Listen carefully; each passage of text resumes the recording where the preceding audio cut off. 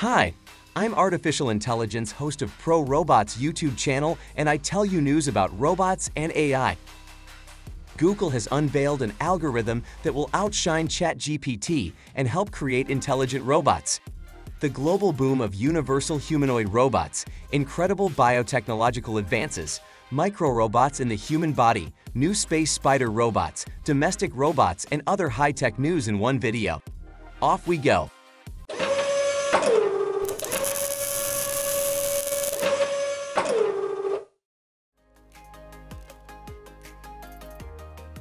Next on the agenda, we have Elon Musk showing two of his robots assembling a third one, followed by the figure startup's immediate claim that their robot is better and is overall the coolest in the world. We talked about this in detail in one of our previous videos, check the description and the link in the info card. The Sanctuary AI humanoid robot, which has long been teasing us with numerous YouTube videos, has apparently been tested at the Canadian Marks clothing retail chain. It's reported that Sanctuary was successful at performing various tasks usually assigned to human workers. The robot was controlled by a human, so no workplace was harmed during the testing. All in all, the bot successfully performed about 110 different operations, though what's the point if it can't work autonomously? The startup's goal is to create a general-purpose robot, however, without artificial general intelligence, the task is nearly impossible. Meanwhile, the Canadian government keeps investing to stay in the game on par with other countries. An AI researchers team from Google and the Technical University of Berlin has unveiled PaLM-E, a multimodal vision language model featuring 562 billion parameters. It uses both visuals and speech to control robots. The developers claim it to be the largest algorithm of this kind ever created and that it can perform multiple tasks without overtraining. Essentially, Google's PaLM-E is a universal robo-brain that receives human commands in natural language. And yes, the similarities to ChatGPT are obvious. According to Google, when PaLM-E receives a high-level command such as get me rice chips from the box, it can generate an action plan for a mobile robotic platform equipped with an arm that will then perform the task without any human involvement. PaLM-E manages its tasks by analyzing the camera data, including dynamic changes. However, the Google researchers claim to have observed several interesting effects that appear to be related to a large language model at the core of PA-LM-E. First, there is positive transfer, or the ability to accumulate knowledge and skills while working on tasks and use them in the next ones. Second, as stated by the engineers, PaLM-E features new functions such as a multimodal chain of reasoning and multi-image output. Google researchers now plan to further explore applications of PaLM-E for real-world tasks such as home automation or industrial robotics. We look forward to seeing more examples of the algorithm's work. Scientists from South Korea have created a mini robot that enters blood vessels, performs the necessary surgical procedures, such as clearing blocked arteries, and returns to the extraction spot. The iRamen robot is controlled by magnets. Before injecting the robot, scientists make a 3D map of the patient's blood vessels surrounding the blocked area. The robot uses the map to navigate autonomously, the catheter delivers the robot into the blood vessel while an external magnetic field is used for creating a rotational motion to untether the robot from the catheter.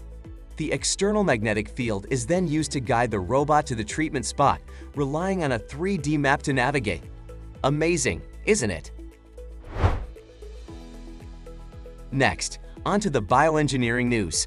Engineers at the University of New South Wales have created a robot able to 3D bioprint directly on organs and tissues inside the human body. The F3DB multifunctional 3D bioprinter has a soft print head with a high degree of freedom integrated into a flexible robotic arm that delivers multilayer biomaterials to internal organs and tissues. The device functions on the master-slave architecture and is controlled by a kinematic inversion model and learning-based controllers different kinds of gels can be used for printing. Swedish scientists have designed a technology that allows to grow electrodes directly in living tissues. This may change the integration methods of electronic circuits, including brain implants. To create soft electronically conductive materials in living tissues, a special gel containing enzymes as the assembly molecules is injected into the body. Contact with body substances changes the gel structure and makes it electrically conductive. There is no need for genetic modification or external signals such as light or electrical energy. Using the new technology, engineers were able to grow electrodes in the brain, heart, and tail fins of danio fish. The material didn't cause any immune reactions and didn't affect the normal functioning of the body systems. Lastly, we have engineers at the Massachusetts Institute of Technology who have created a 3D printable robotic heart. The soft and flexible replica matches a patient's heart in size and shape and allows to tailor the treatment according to the personal structural characteristics and heart diseases. Building a three-dimensional computer mode helps to adjust the size and shape of such an artificial organ for each patient. When the model is ready, the heart is simply printed with the use of special polymer-based ink. This produces a soft, flexible shell with the exact shape of the patient's heart. The aorta can be printed additionally. Sarcos Technology announced that it has successfully completed the final verification of its outdoor autonomous manipulation of photovoltaic panels. The project, by the way, was funded by the U.S. Department of Energy and its goal is to create a robotic system for building solar fields. Such a system should deliver, detect, lift, and place photovoltaic modules in an open field. A key element of the Sarcos solution was a drone with the Guardian XM robotic system on board and an additional autonomous delivery vehicle. Wing, which is developing its own drone delivery network, has introduced auto-loader stations. These should make the delivery faster and easier. The stations take up exactly one parking space and include a small loading mechanism as well as a hanging place for the order. The main part of the device is the pair of long guiding arms that allows the drones to hover over the stations. When the drone is in place, the autoloader attaches the order to the drone's hook, then it takes off and flies away without human involvement. The stations consume no power and they don't require connection for data transfer. The bio-inspired and medical robotics laboratory at Ben-Gurion University of the Negev has presented its Amphi SAW robot. The developers claim it to be one of the fastest amphibious robots in the world. But that's not the only remarkable thing about it. The robot is powered by a single motor which allows it to mirror the way flippers move in water, making it the most energy-efficient robot. The Amphi SAW also has a biosafe movement mechanism enabling it to swim among fish without repelling them. The robot can be used for search and rescue operations, e.g. in flooded areas, as well as for monitoring and robotic aquaculture. The University of California, Berkeley, has shared a video of teaching its Cassie robot to jump. Long jumps, high jumps, jumps off, and on the obstacles.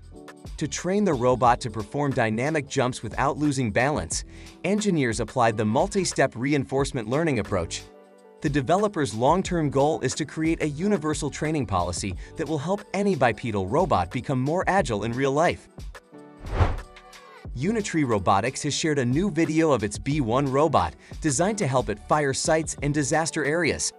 The robot's laser radar scans the environment in real time, registers sounds, and, using infrared light, detects key signs of life.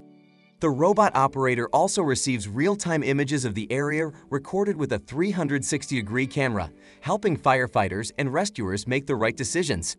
The B1 can also carry rescue equipment, delivering it to the victim before people can reach them.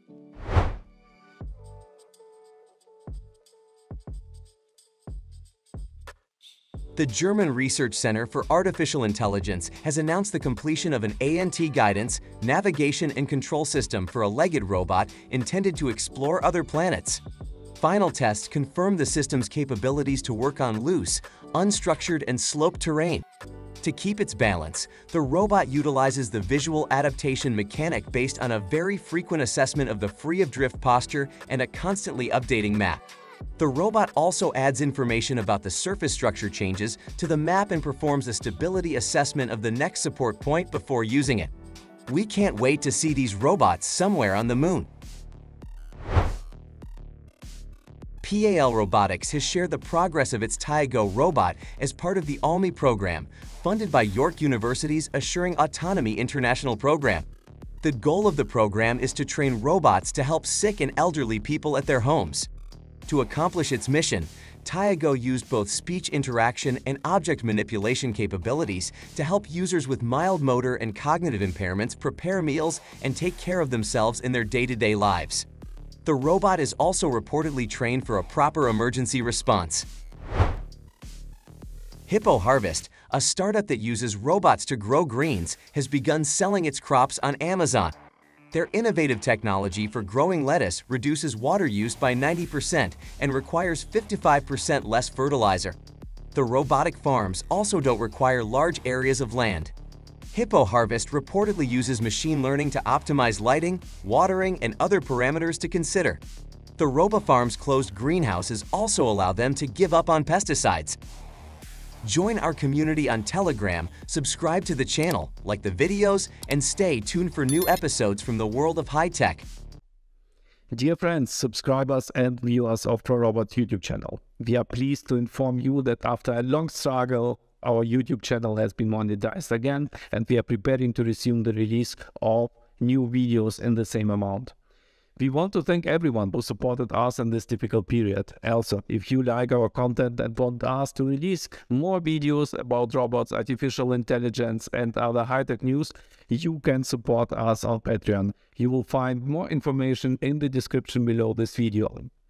We look forward to seeing you again and your feedback on the new format. See you soon.